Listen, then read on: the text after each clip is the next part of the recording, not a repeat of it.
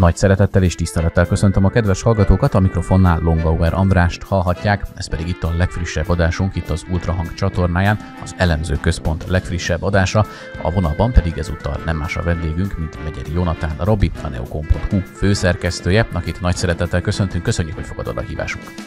Szerbusz András, üdvözlöm a nézőket, hallgatókat! Természetesen ma is több témát kell érintenünk, van bőven külpolitikai fejlemény, amit sorban át kell vennünk, viszont mielőtt ezekbe belekezdenénk, emlékeztetjük hallgatóinkat, hogyha még nem tették meg, mindenképpen érdemes feliratkozni csatornánkra, hiszen így akár értesítéseket is kérhetnek az ultrahang rendszeres felvételeiről, továbbá köszönettel fogadjuk támogatásaikat a képernyőn, illetve a leírásban megjelölt módszereken keresztül, az új támogatói felületünkön hozzáférést nyerhetnek reklámmentes podcast hozzáférést, illetve a közönség találkozóink vágatlan felvételeihez hozzáférést, abban az esetben, ha támogatnak bennünket, ezt ezúttal is köszönjük és rákanyarodva a mai adásunk témáira, mindenképpen talán onnan érdemes indítani, ami nagyon nagy port kavart a médiában, itthon is, és az Egyesült Államokban is, hogy elég erőteljesen külföldi beavatkozásra utaló jelek voltak már az elmúlt időszakban is, viszont most már maga a Google is megerősítette, hogy az ő tapasztalatai is azt mutatják, hogy nem más, mint Irán próbál beavatkozni az amerikai választások menetébe. Ugye erről legelőször a Donald Trump kampány szivároktatás mentén tudtunk beszélni, viszont nagyon hamar kiderült, hogy nem csak a republikánusok, hanem a demokraták is érintettek ebben a kérdésben. Te hogyan jellemeznéd a kialakult helyzetet? Azért az elmondható, hogy semmiképpen sem mindennapi, hogy egy közel-keleti ország az Egyesült Államok választásába szeretne beavatkozni. A, valóban nem mindennapi, um, ugyanakkor iránt ismerve egyáltalán Két dolgot hoznék föl, ami talán a kedves nézők, hallgatók um, kontextus szempontból érdemes, ha tudnak. Az egyik, hogy Iránnak rendkívül fejlett számítástechnikai vagy informatikai uh, hacker um, nem tudom, ipara van.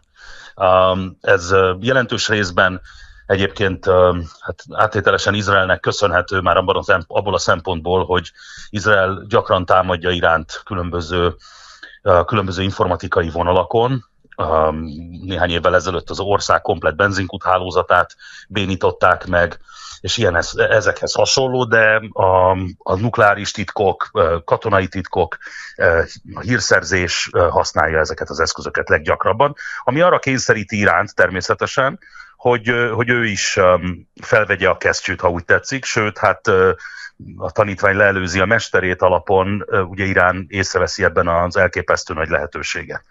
Ez, ez, ez tehát az egyik dolog. Tehát megvannak a technológiai, technológiai képességek. Ugye Irán intenciója vagy szándékai azok nem meglepőek talán senki számára. Itt a közel-kelet legnagyobb, hogy is fogalmazok, bajkeverő államáról van szó, tehát minden, szinte minden közel-keleti probléma, konfliktus valamilyen úton, módon Iránhoz vezethető vissza. Tehát ez a második dolog, ez az intenció.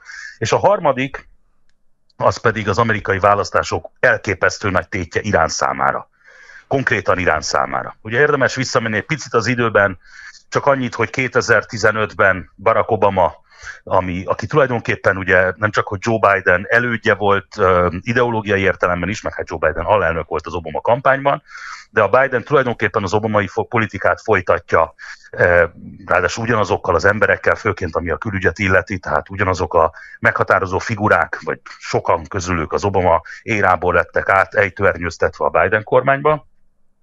Tehát eh, ugye Obama, amikor megkötött az iráni atomalkut, amit aztán Donald Trump elnök eh, felmondott, ami iránt elképesztő mennyiségű pénzhez juttatta, azért cserébe, hogy felfüggesse a nukleáris atomprogramját. Most ez többé-kevésbé, vagy hát most a nyilvánosság számára úgy tűnt, hogy fel is függesztette valóságban, ahogy ezt egyébként egy izraeli kém akció, még Netanyahu mutatta be, nem tudom, emlékeznek a nézők, hallgatók azokat a ilyen adathordozókat, a sok száz DVD-t, amin, amin kicsempészett adatok vannak az iráni atomprogramról. De messziről indulok, de azért tehát érdemes azt tudni, hogy a, hogy a Joe Biden által felfüggeszt, vagy a Trump által felfüggesztett atommegállapodást, a JCPOA-t Bidenék újra felélesztették. Ez iránt megint kihozza részben, jelentős részben kihozza az izolációból, és um, tovább folyt az atomfejlesztés. Te szinte hihetetlenül hangzik, de már körülbelül három hónapja azt lehet hallani, meg azt lehetett olvasni, minden szakértő azt nyilatkozta, hogy Irán hetekre, egy-két hétre van a, a atomfegyverhez szükséges uránium dúsítástól, tehát már már biztosan rendelkeznek hasonlóval, tehát rendkívüli veszélyt jelentenek a világra. Most, hogyha Trump elnök hatalomra kerülne ismét, akkor visszajönne Irán számára a pária korszak, és elképesztő gazdasági szankciókkal. Először elképesztő gazdasági szankciókkal, aztán később meg ki tudja, milyen más szankciókkal vagy lépésekkel sújthatná az Egyesült Államok iránt. Magyarán, hát talán túlzás nélkül állíthatjuk, hogy Irán számára létfontosságú, hogy Kamala Harris legyen az amerikai Egyesült Államok következő elnöke, és ne pedig Donald Trumpnak hívják őt, mert ez elképesztő módon vissza fogja vetni Iránt gazdaságilag, a nemzetközi szintéren, katonailag is veszélyezteti, tehát, tehát megvan, az, megvan a, hogy mondjam, megvan a, nem csak a, az intenció, hanem megvan a konkrét ok is, hogy ez miért állhat az Irán érdekében egy ilyen, egy ilyen hacker támadás, de, de ugye lehetett arról is olvasni, hogy hogy a, a, a Pennsylvániában történt merénylet kísérlet Donald Trump ellen, az csak az egyik volt a merénylet kísérletek között, már több más merénylet kísérletet a, a titkosszolgálatok lefüleltek korábban, és ezek, ezek közül voltak olyanok, amelyek Iránhoz köthetők. Igen, és ugye pont, amit említettél is, az egy szintén igen erőteljes, hát most nevezük plegykának, de akkor akár feltételezésnek is lehet nevezni, hogy volt egy igen erőteljes feltételezés, miszerint Qassem Soleimani halála miatt bosszút fogadott ugye az iráni fél, és hogy akár a merénylet kísérletek is, illetve a merénylet kísérlet önmaga, ami ugye természetesen végül sajnos megesett, az is egyébként ennek lehet az eredménye. Te erre mennyi esélyt látsz? Ugye nagyon sok esetben a titkosszolgálati információk te nem erősítették ezt meg, tehát mindig a tartózkodó információk láttak erről csak napvilágot, hogy erre utaló jelet nem láttak, viszont így a kampányokat ért támadással együtt nézve, illetve az iráni viselkedést szemlélve. Te hogy látod, volt-e erre egyébként valós esély, hogy tényleg az iráni fél állhatott mondjuk egy ilyen kísérlet hátterében? Ugye két, dolog, két dolgot, vagy három dolgot érdemes leszögezni. Az egyik az az, hogy amikor titkos szolgálati eseményekről vagy cselekményekről van szó, lefülelésekről, potenciális akciókról, stb. az ugye mindig, ahogy a neve is mutatja, titkos. Tehát uh, itt találgatni lehet csak a teljes igazságot, a közvélemény, széles közvélemény talán jobb is, hogyha soha nem fogja megtudni. Ez az egyik dolog. A másik, amikor ilyen, amikor ilyen um, híreket olvas az ember, akkor egyik tanult kollégám úgy fogalmazott, hogy mindig először hihetőségi vizsga alá kell vetni. Amikor olvas az ember egy hírt, amikor találkozik egy hírrel, akkor mindig azt kell, azt kell megkérdezze magától, hogy átmegy-e, átmegy ez az adott információ a hihetőségi vizsgán. Egyszerűen képesség, tehát hogy lehetséges az, hogy ez a dolog megtörténjen. Az előbb azt próbáltam felvázolni, hogy ez teljességgel elképzelhető. Igen. Tehát az, hogy, a, az, hogy az amerikai ö, ö, elnökválasztásban, aminek ekkora tétje van, egyébként világszinten elképesztően tétje, lehet, hogy ma még beszélünk, de ez Ugye minden választásra azt mondják, hogy ez most a legfontosabb választás, és mindenki menjen el szavazni. Ez most tényleg egy nagyon fontos választás az amerikai e, e, Egyesült Államok következő elnök választás november 5-én. Ugye Ukrajna, Oroszország konfliktus, Izrael, a terrorizmus elleni konfliktus, vagy háború, Irán, ugye Kína térnyerése. Hát azért itt, itt azért történnek olyan geopolitikai folyamatok, amelyekben egyáltalán nem mindegy, hogy a világ még vezető államának ki, ki lesz a vezetője, tehát ez tényleg egy nagyon fontos választás mond, ezért, vagy választás lesz, és ezért természetesen a hihetőségi vizsgán próbáltam az előbb felvázolni ezt a három pontot, ezért ez, a, ez az iráni támadás, ez, meg, meg egyáltalán a merénylet kísérletek, ez mind beleillik abba a mintázatba, amely, amely elősegíteni azt, hogy a 47. elnököt ne Donald Trumpnak hívják, hanem Kamala Harrisnek. És ugye ez különösen akár azoknak az eseményeknek a szemlélésével együtt is érdekes, hogy ugye a közel-keleti eseményeket sem lehet itt kihagyni természetesen a képből, és ugye mindeközben ugye arról olvashatunk híreket, hogy az Egyesült Államok erőteljesen szeretné arra késztetni a közel-kelet forrongó szinterének szereplőit, hogy az esetleges direkt konfliktus kirobbanását akár egy gázai tűzszünettel próbálják megelőzni, és az Egyesült Államok mindent megtesz annak érdekében, hogy ezt a regionális konfliktust elkerülje. Természetesen azért haderőt csoportosított a régióba. Te hogy látod az ott kialakult helyzetet, akár egyébként a választások beavatkozásának fényében, akár csak annak fényében, hogy az Egyesült Államok globális szerepvállalásra sokak szerint, sok szakértő szerint már most egyébként egy kicsit túlterhelt, és akár egy közel-keleti konfliktus is, gondolom, tovább terhelni az amúgy sem túlságosan szabad kapacitásokat. Hogyan vázolnád fel, hogy kell ezt elképzelni? Ugye a, a, a, világnak, mindig, a világnak mindig lesz egy, egy házmestere, egy rendőre. Ez jelenleg az Egyesült Államok a világ legerősebb hadseregével és legnagyobb gazdaságával rendelkező ország. Egy az Egyesült Államokra az Egyesült Államok hegemóniájára, vagy vezető hatalmára jelent igazi veszélyt egyet, egyetlen ország van, ez Kína a jelen esetben. Ugye Oroszország nem egy potenciális versenytárs, abban a tekintetben nem nukleáris robbanófejek, mert abból ugyanannyi van az oroszoknak, mint az amerikaiaknak, sőt még egy kicsit több is, de mondjuk a orosz gazdaság az, az, az nem tudom, New Jersey államéhoz, vagy Floridához mérhető gazdaság, tehát egy állama az ötvennekből az Egyesült Államoknak tehát az, hogy az amerikai vezető szerepet megtörjék, ez, ez, természetesen, ez természetesen most már úgy tűnik, hogy egyre inkább érdeke, vagy egyre inkább szándéka nagyon sokaknak. Ugye itt elég a BRICS formációra gondolni, ugye ami nem tudom, Kína, Brazília, Saudi, Saudi-Arábia, Irán, Dél-Afrika és Oroszország, meg hasonló országok formációja, ami próbálná nyugat vezető szerepét betölteni. Most a, ami a, ami a, az amerikai kapacitásokat illeti, ugye egy, egy, tehát először is induljunk ki abból, hogy anélkül, hogy bármilyen dicséretet fogalmaznék meg a Biden kormánya kapcsolatban, mert sok jót nem tudok róla mondani, de az, azért azt nem feltételezem, hogy háborúba, bármilyen, pláne egy regionális háborúba igyekezne lavírozni. Tehát a jó szándékot érdemes feltételezni, hogy valóban el akar kerülni egy regionális háborút, ez, ez lehet az egy, ő egyik célja. A másik célja pedig egy elképesztő elképesztő külpolitikai kudarcokkal terhelt elmúlt négy éves Biden elnökség, ugye az afganisztáni kivonulás után megindult őrület, Oroszország megtámadta Ukrajnát, a Hamas megtámadta Izraelt, Irán, Irán is megtámadta Izraelt, a Hezbollah forrong, tehát hogy a Biden kormány nem tud külpolitikai sikert felmutatni, semmit, nullát, zérót. Az amerikai adófizetőknek 100 milliárd dollárokban mérhető pénzébe kerül már így is finanszírozni, hát főként az Ukrajnában zajló háborút, de, de a közel-keletit is.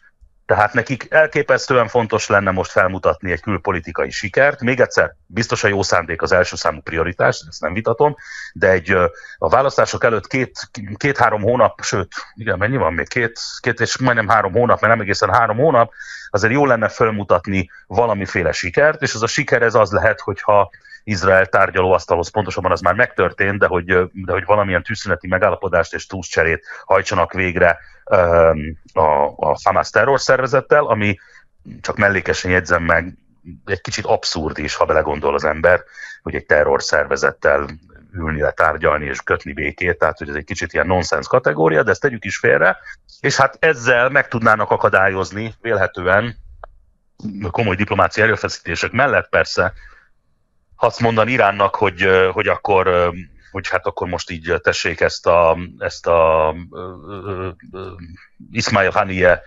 likvidálást, ami Teheránban történt, ezt egy picit hát így félretenni, és a büszkeséget félretenni, és akkor pacifikálni a helyzetet. Tehát ez a, a Biden kormány számára, külpolitika szám, külpolitikája számára, a választási esélyei számára létfontosságú lenne egy ilyesmit prezentálni az elkövetkezendő néhány hétben Éppen ma, most pénteken beszélgettünk, ma van a második napja Katárban a, ezeknek a tűzszüneti tárgyalásoknak, amelyben hát valami kis reménysugár azért még mindig van, de nagyon sokan azt mondják, hogy ha most nem sikerülnek ezek a tárgyalások, akkor, akkor ez elúszott az utolsó esély is a, a tűzszünetre.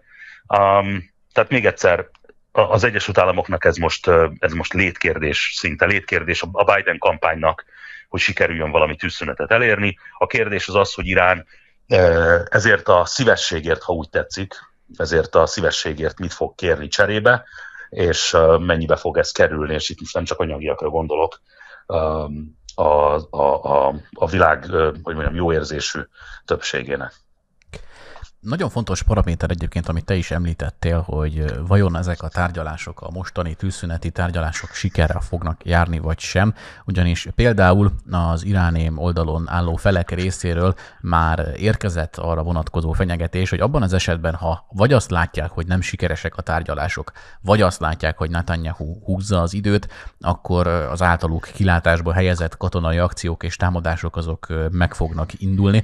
Te mennyire látsz jelen pillanatban a felekben arra, arra kapacitást, hajlandóságot, hogy valós előrelépést tegyenek?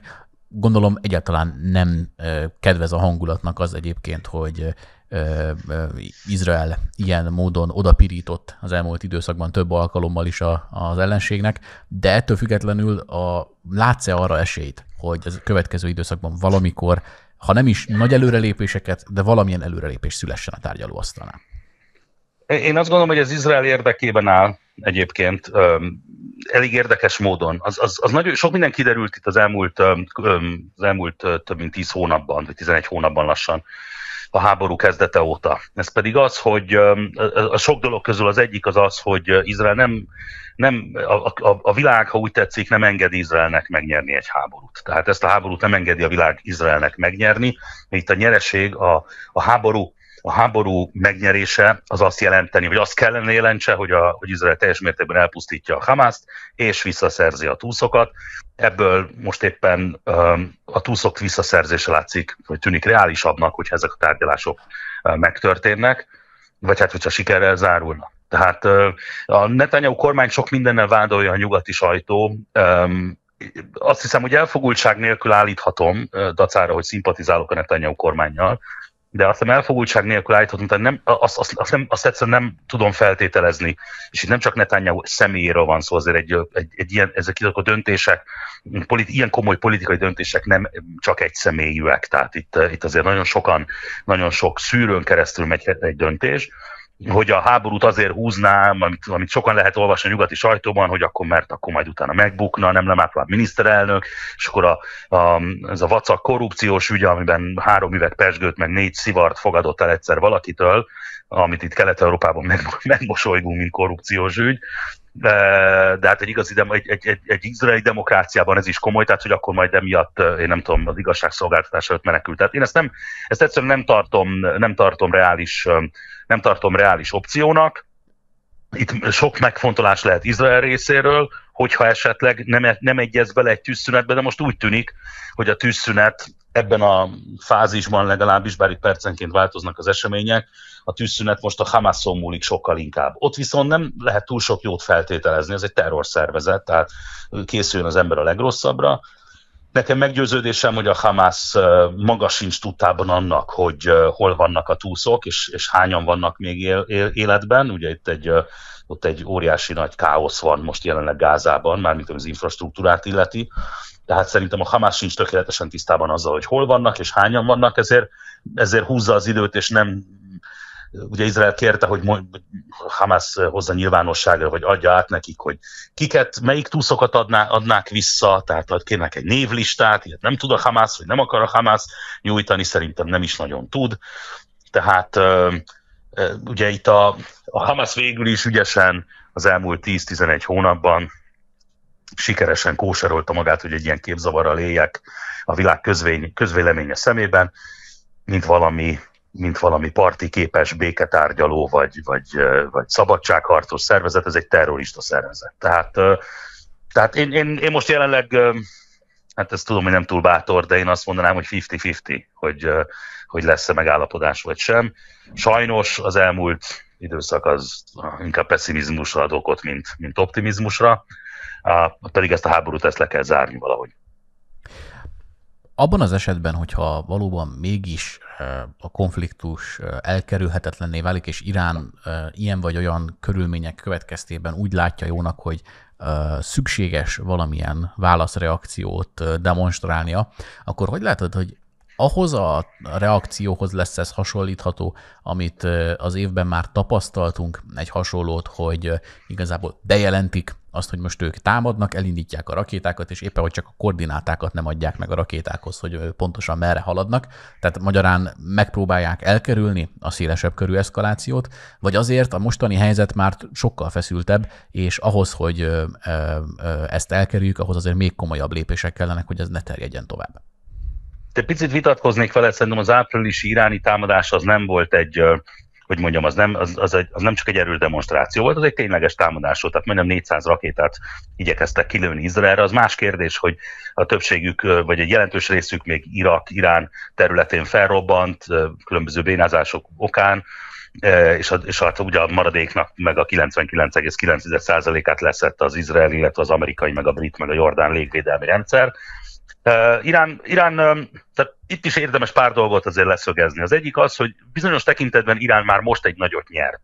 Azért gondoljunk bele, három hete tartja a limbóban az izraeli lakosságot. Uh, jártam Izraelben egy pár héttel ezelőtt. Tehát ez a levegőben lógó konfliktus, ez, ez olyan pszichés nyomást tesz a társadalomra, ami, ami meg tudja törni még a legkeményebb társadalom, meg a leg, hogy mondjam, harcedzettebb társadalmat is, mint az izraeli.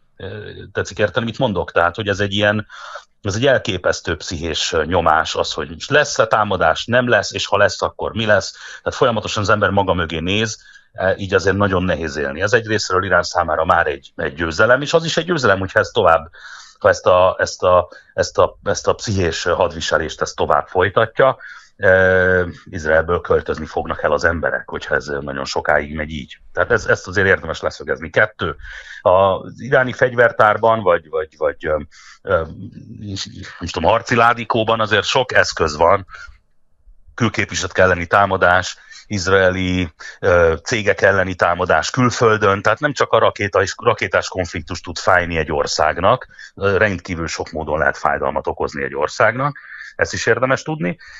És, és, hát, és, és hát utána még mindig ott van a, és még mindig ott van a, a, a, a tényleges fegyveres konfliktus. Most úgy tűnik, hogy, hogy, hogy, hogy Oroszország is, és mintha Kína is talán arra intette volna, vagy önmérsékletre intette volna Iránt, hogy ne legyen egy, egy, egy nagyobb konfliktus. Az Iránnak elképesztő károkat okozna egyébként, tehát Izrael ugye mivel hogy a két ország között van 2000 kilométer, ez egy légi, tehát rakéták, vadászrepülőgépeken múló háború, ebben Izrael sokkal előrébb jár, arról nem is beszélve, hogy mind az Egyesült Államok, mind Anglia, Franciaország, és egyébként Jordánia, sőt még Szaudarábia is kijelentette, hogy sem a légterét sem engedi oda, tehát nem engedi, hogy a légterén átrepüljenek iráni rakéták, meg hasonlók. Tehát kicsit egyedül maradt a régióban Irán, szerintem az oroszok sem, oroszoktól sem jöhettek jó hírek, hogy majd onnan fognak fegyvereket kapni, hát az orosz kapacitásokat jelentős mértékben leköti az ukrán háború. Most éppen ott tartunk az ukrán háborúban, hogy Ukrajna foglal el területeket, most már több mint ezer négyzetkilométert Oroszországból, tehát lehet, hogy a fegyvereiket sem szívesen adják oda most Iránnak, vagy rakétákat, vagy éveket, mert azt gondolják, hogy most már honvédő háborúhoz van szükségük ezekre a fegyverekre. Tehát én, én, én most optimista vagyok ezzel a támadással kapcsolatban. A nagy kérdés persze az, lezárva ezt az Izrael kérdést, hogy, mi lesz a Hezbolával, tehát északi határon, az ott egy nagy kérdés, onnan még mindig jönnek rakéták, több, majdnem százezer ember van kilakoltatva Észak-Izraelből, tehát lassan azért vissza kéne csak vinni haza, tehát az, az, az, az, egy, az egy valóban égető kérdés. Az, hogy Irán megelégszik egy ilyen proxy, egy ilyen proxy háborúval, ez, ez, pedig, ez pedig tényleg jelentős részben a nagyhatalmakon is múlik.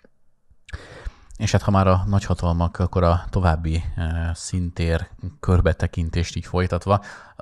Ugye Biden miközben ugye itt zajlanak az események, és ugye az elnökválasztási kampány is kezd felpörögni, természetesen ugye az orosz-ukrán háború is továbbra is zajlik, és ugye nagy port kavart az a, a felvetés, az a kijelentés, hogy rakétákat adna Ukrajnának az F-16-osok mellé, méghozzá nagy hatótávolságú rakétákat, és ugye akár azoknak az eseményeknek a fényében, amiket az elmúlt időszakban a Kurszki régió mentén tapasztalhattunk, fölmerülhetnek egyre komolyabb aggályok és kérdések annak mentén, hogy mennyire okoz ez majd további eszkalációt. Egyik oldalról ugye természetesen ott vannak azok az érvek, hogy azért Oroszország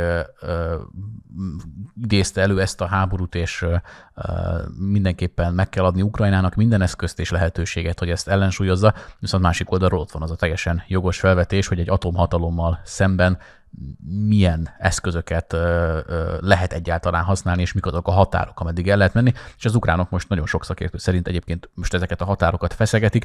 Te hogy látod ezt a kialakult helyzetet, akár a Kurszki betörés okozta dilemmákat, akár a, a ennek fényében a Biden elnök által javasolt nagy hatótávolságú rakéták kérdését, aggódnunk kell?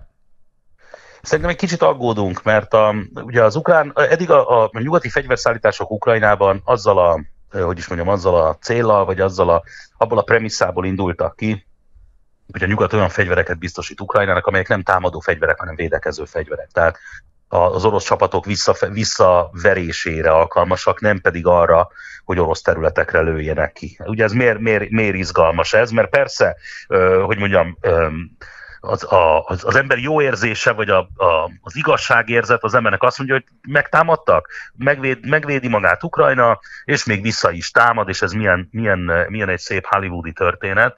Csak a helyzet az az, hogyha Ukrajna ugye támadásba lendül és megtámadja Oroszországot, ennek a jeleit azért ahogy az előbb említetted te is, azért most már úgy látjuk, tehát behatoltak Ukrajnába, ugye elfoglaltak komoly területeket, és a többi. Hát ez egy, ez, itt, itt, itt, hogyha nyugati fegyvereket fog használni Ukrajna arra, hogy orosz, orosz katonákat gyilkoljanak, vagy öljenek meg, még hogyha az ember igazságérzete, hogy nem is mondjam, ezt kívánja vagy sem, ezt tegyük is egy pillanatra félre, de hát onnantól kezdve Oroszország, hogy is mondjam, hát jelentősen berághat a nyugatra. Tehát, hogy ez, ez onnantól kezdve valóban lehet egy, egy NATO háború, hogyha NATO országoktól, mondjuk Amerikától kap fegyvereket. Ezek az említett rakéták, ezek levegőföld rakéták egyébként, amiket Zelenszky kért Biden-től, és Biden egy megfont fontolóra vette. Ezek levegőföld rakéták, tehát repülőgépekből lőnék ki őket és hát még egyszer az a kérdés, hogy védekezésre használnák, vagy támadásra. Eddig az, volt a, eddig az volt az alapvetés, hogy a fegyverek védekezésre használhatók csak. Most az ukrán hadsereg kapott egy, egy löketet, ha úgy tetszik, vagy egy, egy mondjam, szerencsés lapjárása van, és, és hát az a kérdés, hogy ezeket a nyugati fegyvereket milyen módon fogja használni.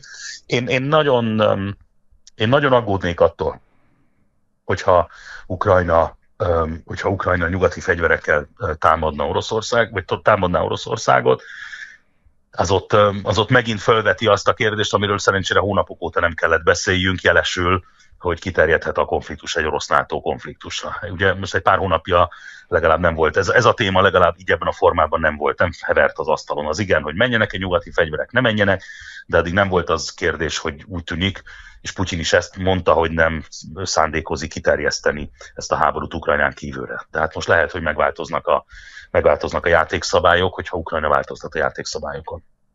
Úgyhogy ez egy aggasztó jel mindenképpen. A, a, a vadászreplők öm, mire leszállításra kerülnek, meg, meg azokat ki is kell képezni, azokat a pilótákat, azzal nem tudom, hogy azzal jelenleg hogy állna Ukrajna.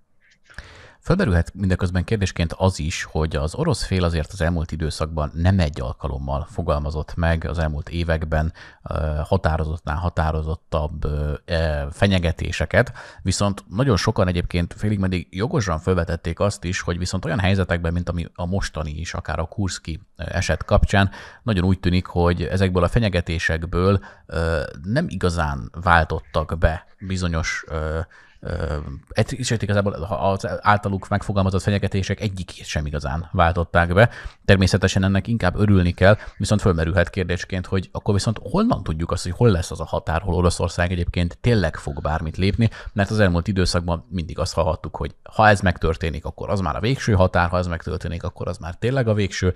Ugye ezt a fegyverek támogatásánál sok más kérdésnél fölmerült kérdésként, viszont most egyre inkább azt tűnik valószínűnek, hogy egyelőre még nem történt ilyen, és akkor fölmerülhet kérdésként, hogy hol lesz az a határ.